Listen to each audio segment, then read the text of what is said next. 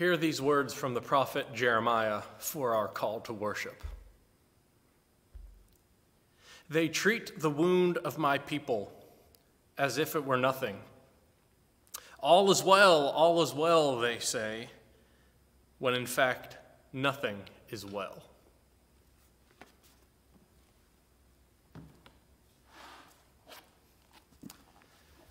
Please join me in an opening prayer. This prayer is adapted from number 671 in Hymnal, the Worship Book. O God, we come seeking you in our worship together. We come to you for truth because we are untrue. We come to you for strength because we are weak. We come to you for wisdom because we are unwise. We come to you for your presence, for we are lonely. We come to you for healing, for our souls and our bodies are sick. We come to you for rest because we are tired and worn down. Move in our midst this day, we pray. Show us your truth, your strength, your wisdom, your healing your love, and your rest. Through our Savior, Jesus the Christ, we pray. Amen.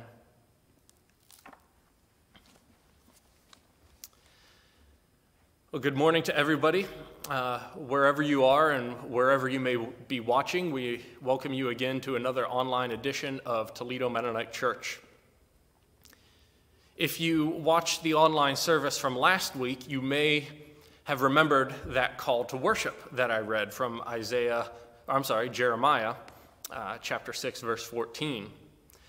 It's this idea of the prophet crying out against the, the rulers and the general status quo of the society of ancient Israel leading up to the time of the exile, where all the false prophets and, and all those who were invested in the system as is wanted to just paint things over and brush things over and say, all is well, all is well. But Jeremiah, the voice of God, was saying, no, not, not all is well. Very little is well.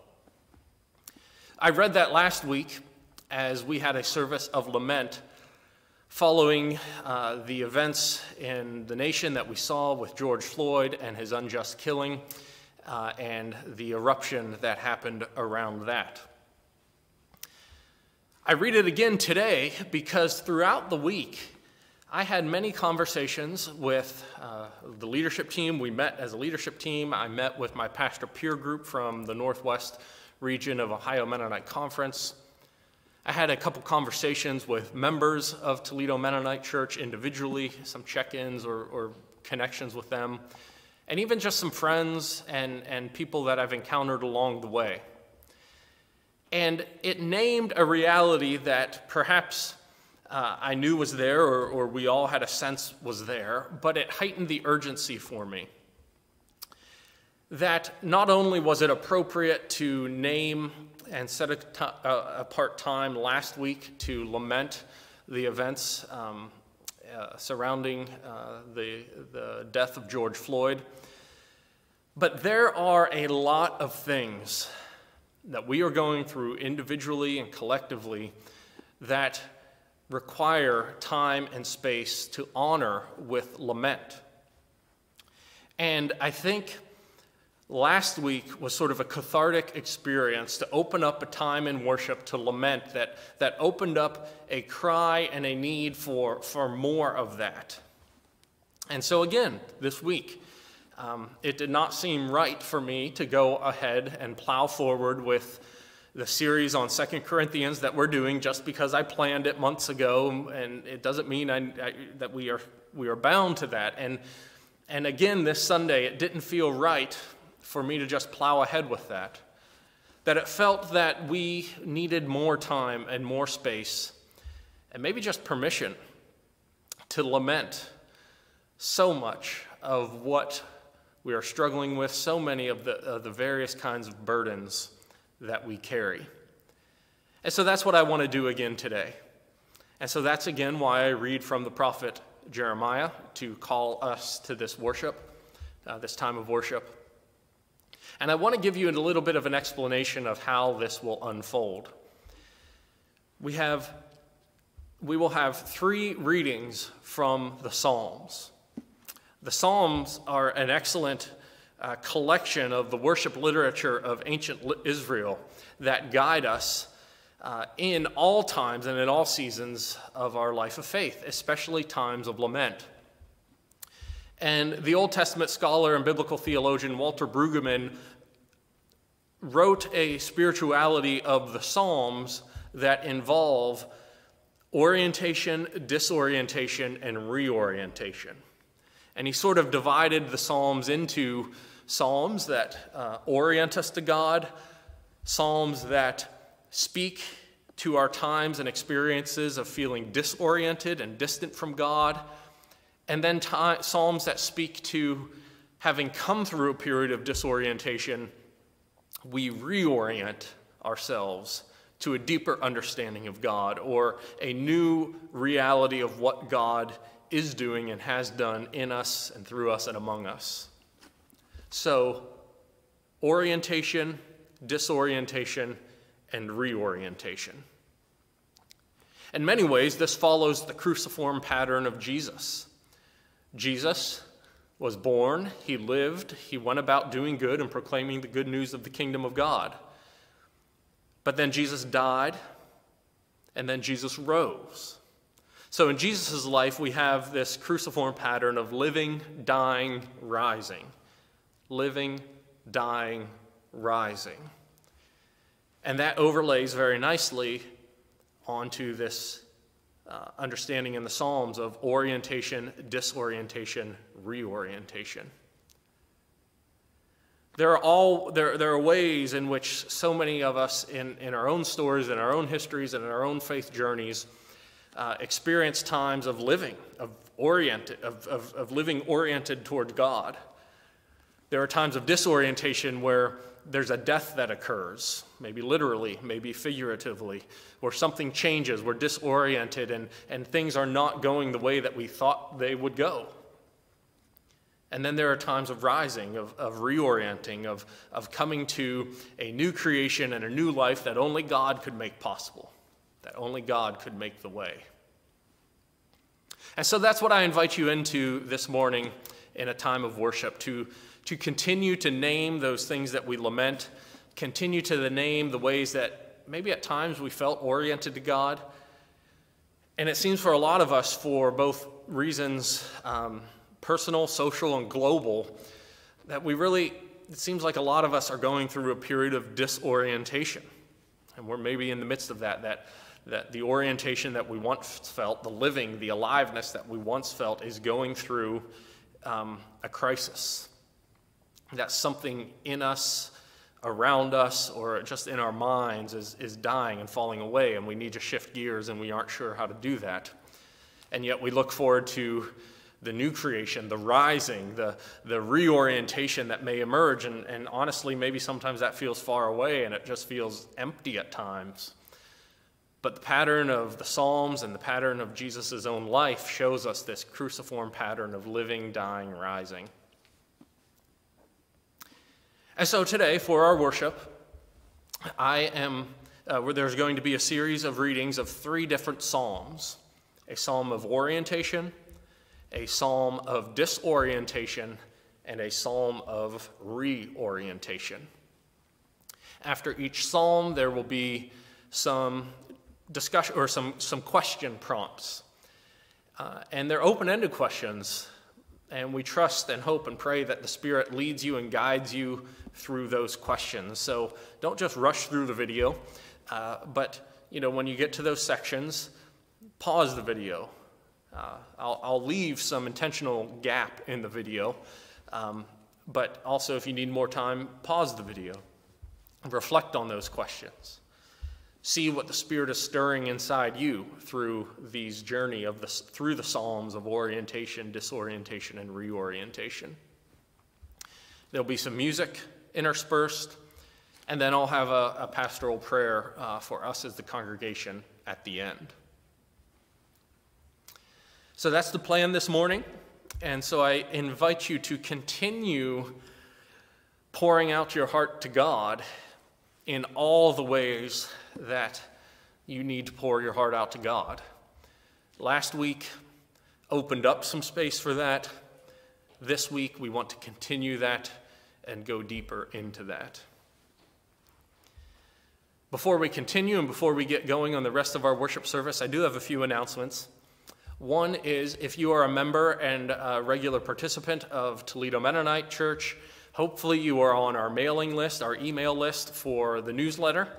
And the most recent edition of the newsletter that was sent out on Friday has some information, uh, some further information about our approach as Toledo Mennonite Church to the COVID 19 virus and our approach to reopening the church. Here in Ohio, uh, a lot of sectors of uh, uh, businesses and the economy are beginning to, to open. A lot of churches are beginning to reopen. But as we've said all along, we're not going to be at the forefront of that. Uh, we think there's too much risk and not enough reward, so to speak, for, for that. We are going to take a cautious approach. That is still what we are doing, but there's some more information in the e newsletter about okay, now that we begin to see things opening up, what and we are beginning to think about that as a congregation, but but what is what are some approaches that we're going to take and what's that timeline going to look like? So so if you're curious about that, I know a lot of people are anxious and desiring to, to get back together, just human contact. Um, there's something more alive and robust and, and spirit filled when we can be together. I get all that. And so there's a desire for that. We're not quite there yet, but see the MailChimp uh, newsletter for details about that. The second thing then is um, Monday evening uh, at 6 o'clock, tomorrow evening at 6 o'clock, we are having a church cleanup day. Now, are we contradicting ourselves between taking a cautious approach to reopening worship and uh, having a church cleanup day? Uh, I don't know. Maybe some people might think that. I don't necessarily think so. Um, because the church cleanup day is going to be outside. It's going to be on our grounds. It's going to be pulling weeds, trimming trees, doing things like that. We will be outside in the fresh open air, which greatly reduces the, the uh, spread of the virus. We will be socially distant from one another. We're not going to be working on top of one another. If you know our buildings and our grounds, there's, it's a pretty sizable chunk of property, so we'll definitely be able to spread out. And if you want to uh, wear your, your mask, you are certainly welcome to do that. Um, and if you don't feel comfortable doing it, uh, there's no requirement that you do come. Um, it's just the reality that some weeds are growing, some bushes are getting overgrown, some need, trees need trimmed. Um, and so tomorrow evening, 6 o'clock, Monday at 6 o'clock, if you are able uh, and feel comfortable, we are having an outdoor work day here at the church. Again, those details are also in the MailChimp, so please, please, please be reading your MailChimp. Um, that's the main way of communication that we have as a congregation during this time of, of physical distancing. So, was that enough? Um, you have a little bit of uh, some announcements there to, to be aware of, and a little bit of a guide to our worship experience today. With all that being said, this is the time in the worship where we would typically uh, stand and greet one another with the peace of Christ. Uh, after Jesus lived and died and rose again, he appeared to his disciples and he uh, spoke into their fear and their anxiety and their worry and their uncertainty, and he said, Peace be with you. And so at this point, uh, take a moment to picture the congregation in your mind's eye and in your heart and pass the peace of Christ to one another.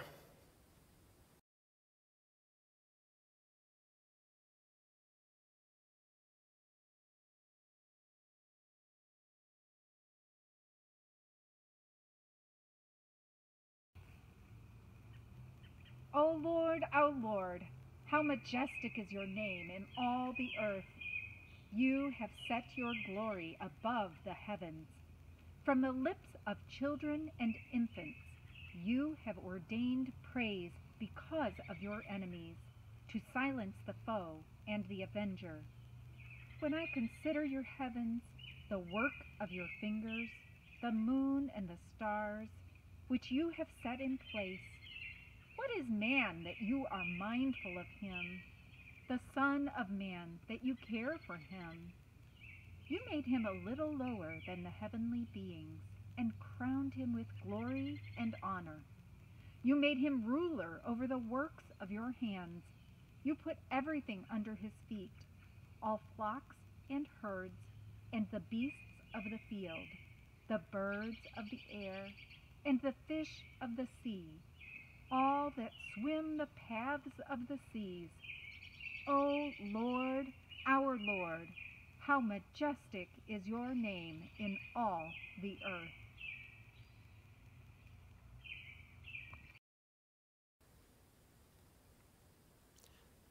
Psalm 8 is an example of a psalm of orientation.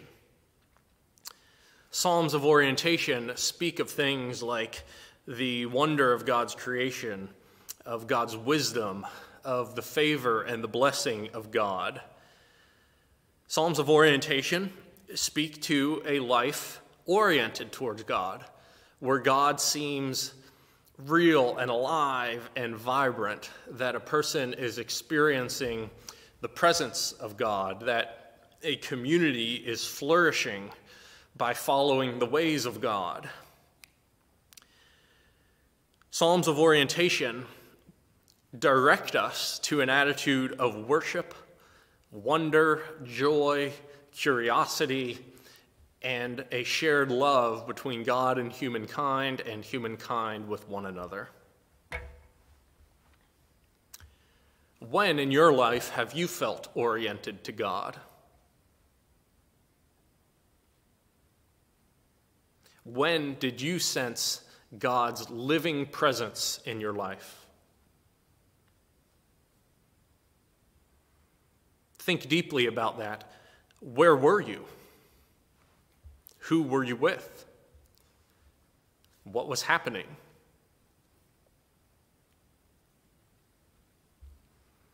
How long did that moment last?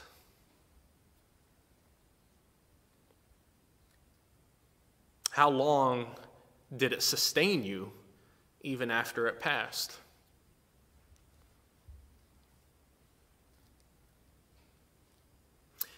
Maybe you have several periods in your life where you felt deeply oriented toward God. When was the last time you had that um, experience? Is it fresh or has it been a while? When's the last time you have reflected? and relived and brought to mind that time or that experience in your life.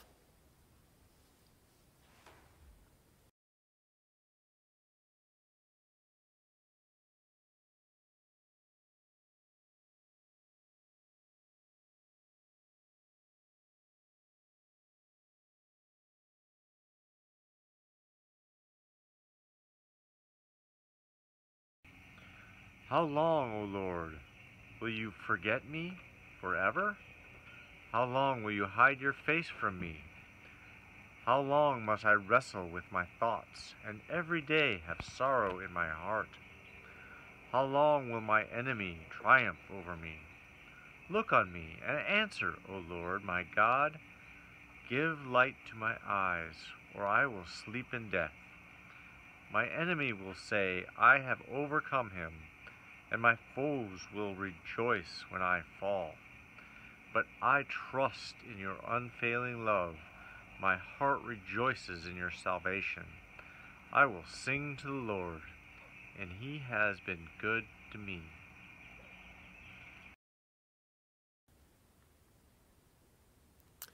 Psalm 17 is an example of a psalm of disorientation.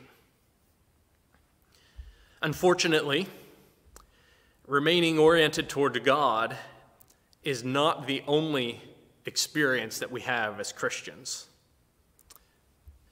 You know, maybe one day it will be, but it's, it's a reality and it's truth that we all go through times of feeling disoriented to God. If you are in that experience or if you have had that experience, you are not alone. I think sometimes in church culture, or maybe just a, an individual impression that we might have, we might um, shame people or beat ourselves up if a person admits to or feels like they are going through a time of disorientation. But um, nothing could be further from the truth. Uh, nothing could be further from the biblical witness.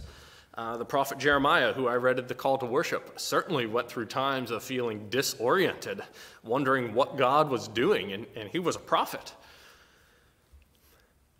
Many saints in the Old Testament and the New Testament and throughout church history have gone through periods, and not just a day, not just a moment, not just a, a fleeting sort of doubt or uh, wavering of faith, but many saints have gone through deep periods of disorientation. Uh, seasons, months, years, where one's relationship with God seems dry, uh, seems distant, and we feel disconnected from God, from ourselves, and from the world around us. When have you felt disoriented or distant from God?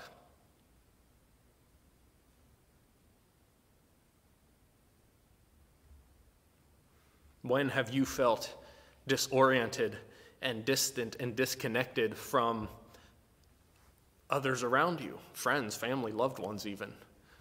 When's the last time you felt chaos break out in your life and in our world? In my conversations with people in this congregation, other pastors, and what they're experiencing personally and in their congregations, many Many people are experiencing that right now uh, in this season that we are in as individuals and as a people.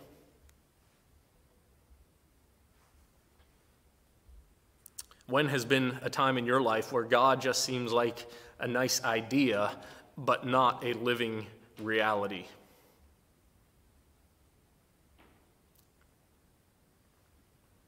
When is a time that God or the Christian life itself just stopped making sense to you?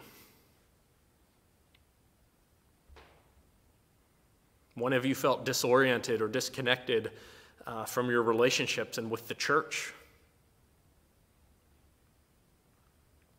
And what did it feel like when you were going through that time or that season? And stretch yourself. Stretch yourself to see if you can recall 10 different emotions uh, or dispositions that you were feeling from that time in your life. They might not be, well, they won't be happy memories to reflect on, uh, but they don't just go away either. Naming them, reflecting on them, writing them down can help lift them to God. So stretch yourself, write down 10 of those feelings or attitudes or dispositions that you experienced during that time of disorientation. Go for more than 10 if, if you want or if you can.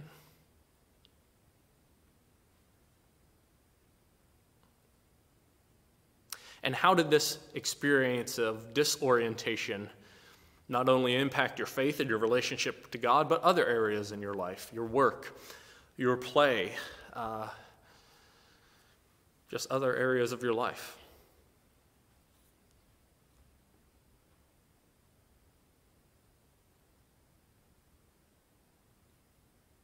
Did this period of disorientation last a day or two, a couple weeks, a couple months, a couple years? Again, don't be embarrassed, don't be ashamed to admit that. It doesn't go away, you can't hide it. We can only open ourselves up to God in the midst of it. Take some time and reflect on those questions at this point.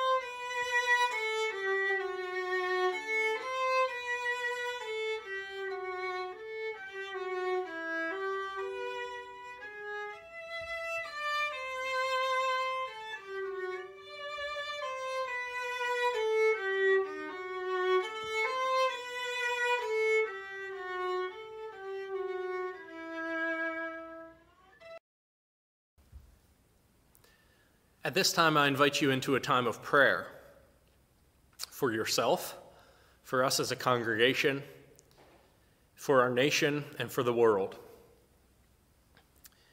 If you watched the video from last week, you will notice some similarities with this prayer and the one that I led last week. Again, to draw some continuity between the lament, uh, the space of lament that we opened up and began last week and carry forward today. But you will also notice perhaps that it is expanded and, and developed a little further. Please pray with me.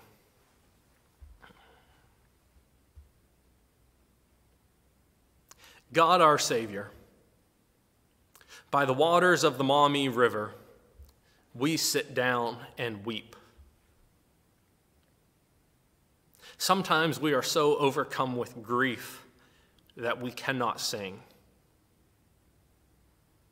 How can we sing our songs in a strange land? How can we sing our songs when there is so much pain, so much hurt, so much loss?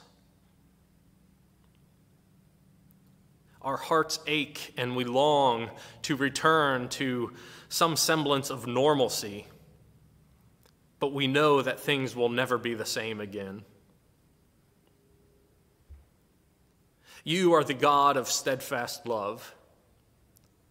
In your mercy, Lord, hear our prayer.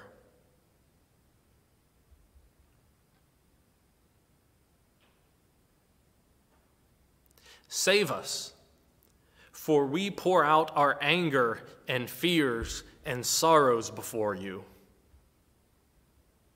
Better are raging hearts broken open before you than hearts of stone hidden behind religious cliches. Hear our cry and turn our pain into joy. In your mercy, Lord, hear our prayer.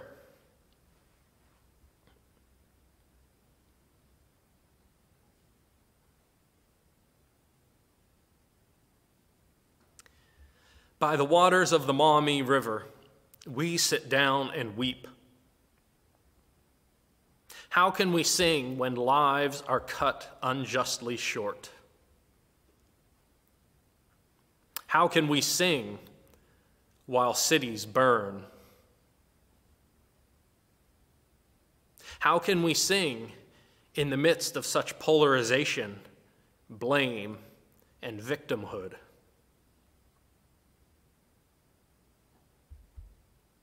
From the depths of our sin and sadness, we cry out to you. In your mercy, Lord, hear our prayer.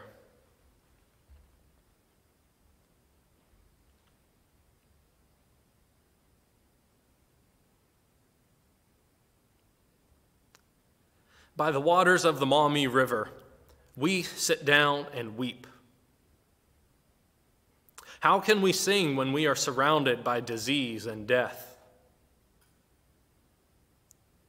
How can we sing when faced with a faceless threat?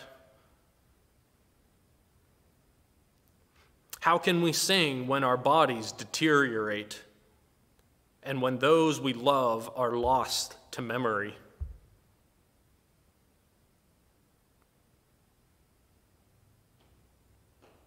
From the depths of our sin and sadness, we cry out to you. In your mercy, Lord, hear our prayer.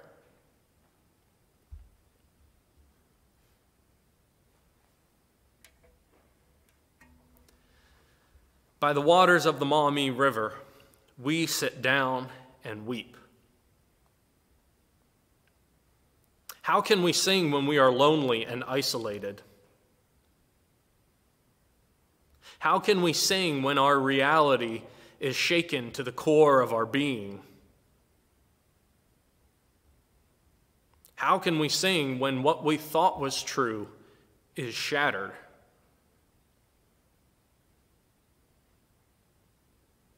From the depths of our sin and sadness, we cry out to you In your mercy, Lord, hear our prayer.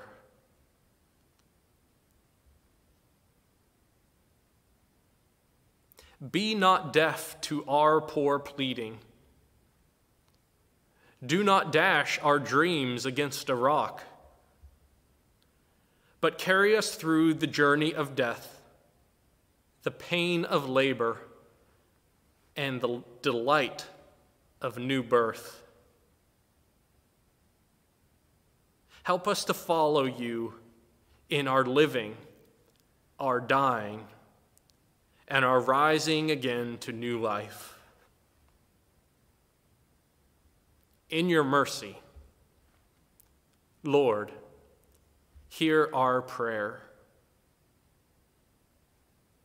For it is in Christ's name that we pray. Amen.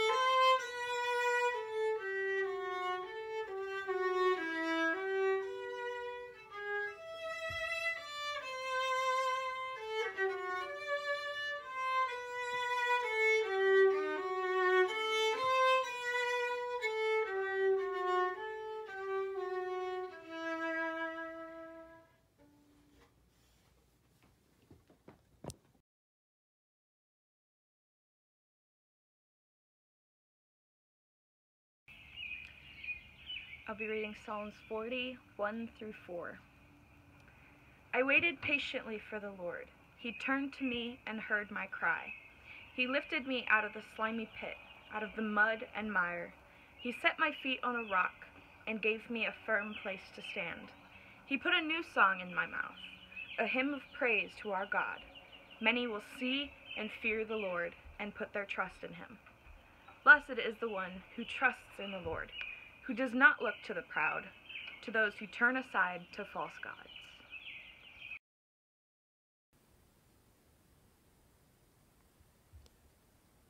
Psalm 40 is an example of a psalm of reorientation.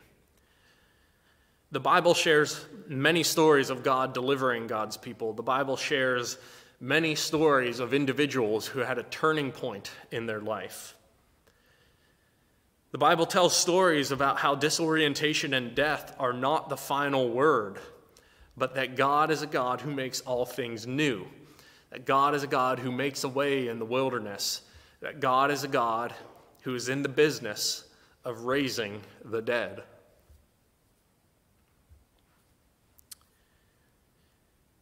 So, has there been a time in your life when God, God has brought you through a season of disorientation into a season of reorientation? Has there been a time in your life when you experienced a death of something? A relationship, a dream, a preconceived notion, a self image? When is a time that you have felt the death of something, but that God has brought you through to a rising, a new life of something else? How did God do this? How did you begin to realize that God was doing it? What was that experience like? And again, stretch yourself to write down 10 or more feelings, attitudes, dispositions that you were experiencing during that time. So often, these are the experiences that anchor our faith to help deepen our relationship with God, but if we don't reflect on them, they don't they don't take deep root in our heart and our soul, and we might forget them. We need to call them to mind. We need to bring those back to mind.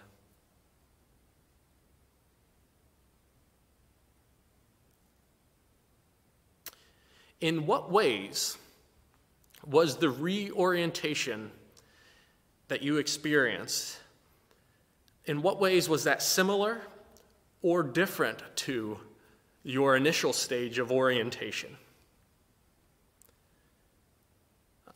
Reorientation does not just mean going back to orientation.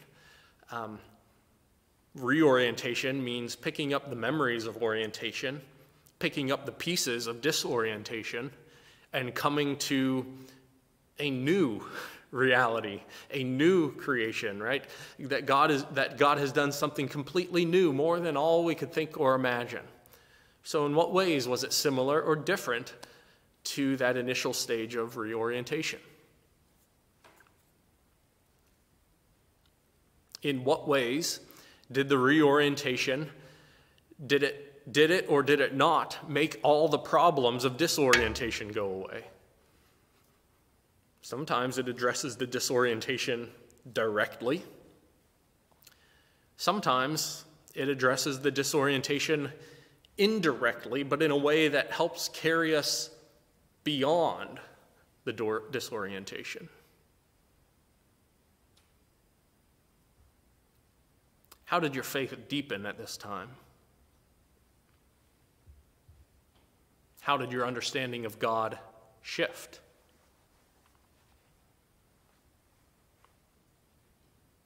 And I want to say a word here that I do I do trust and I believe that God works with us, um, even if it's in a small way. And that if you've been journeying with God for a while, most likely um, I have hope, hope and, and faith and trust that there's been a way that God has helped to carry you through a time of disorientation. I also acknowledge that if you're in the midst of that right now, a deep stage of, of, of uh, disorientation, that it very well may feel artificial or contrived to try to jump to the reorientation. And the truth is that you can't force it.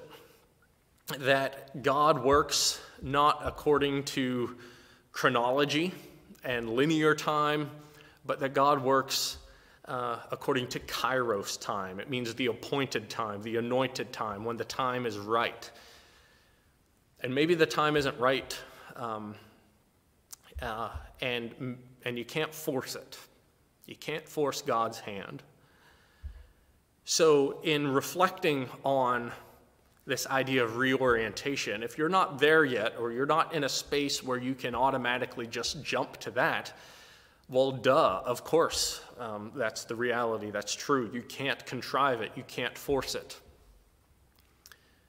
So, if these questions aren't feeling where you're at at this point, so be it.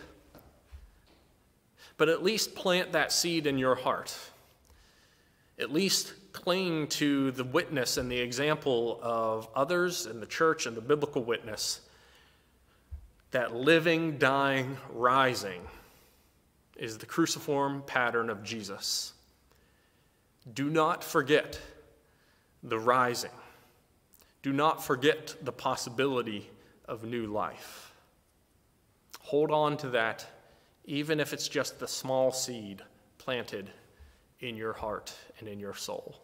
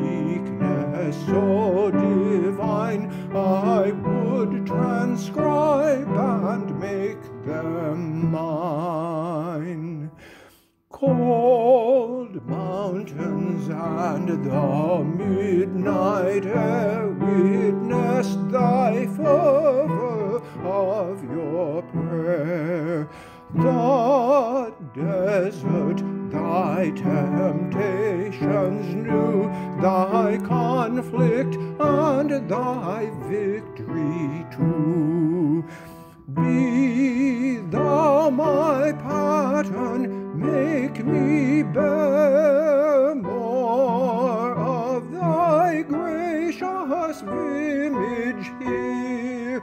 Then God the judge shall own my name among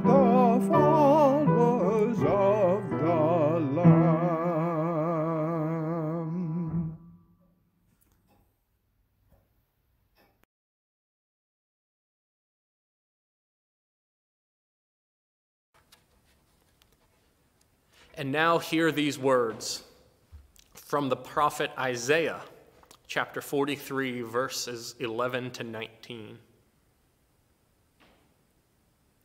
I, I am the Lord, and there is no Savior beside me.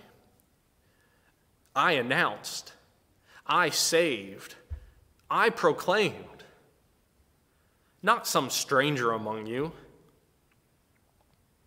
And you are my witnesses, says the Lord, that I am God. From the to- dawn of time, I am the one. No one can escape my power. I act, and who can undo it? The Lord, your Redeemer, the Holy One of Israel, says, For your sake, I have sent an army to Babylon and brought down the bars, turning the Chaldeans singing into lament. I am the Lord, your Holy One, Israel's Creator, your King.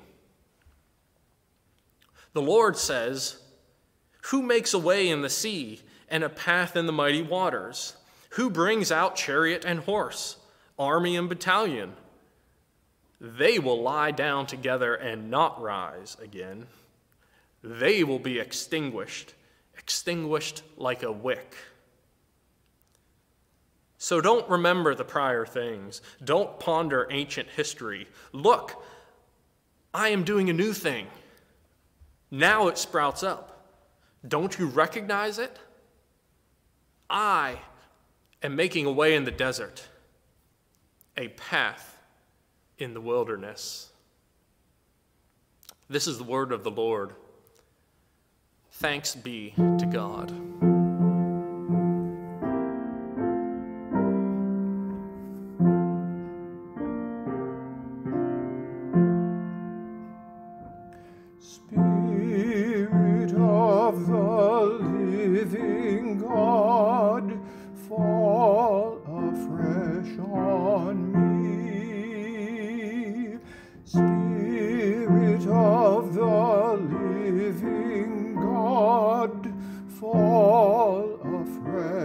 On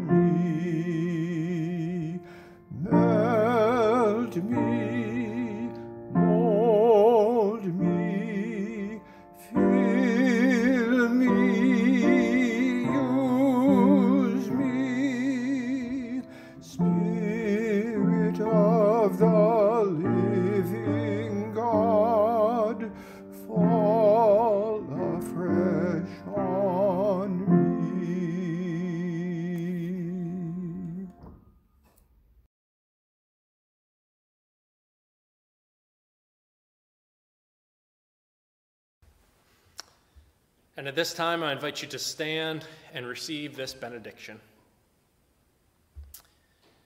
And now to God, who sees us in all our sin, all our despair, and all our suffering, and yet is still able to do abundantly far more than all we might ask or imagine. To God be glory in Christ Jesus and in the church from this time on and forevermore. Go in peace.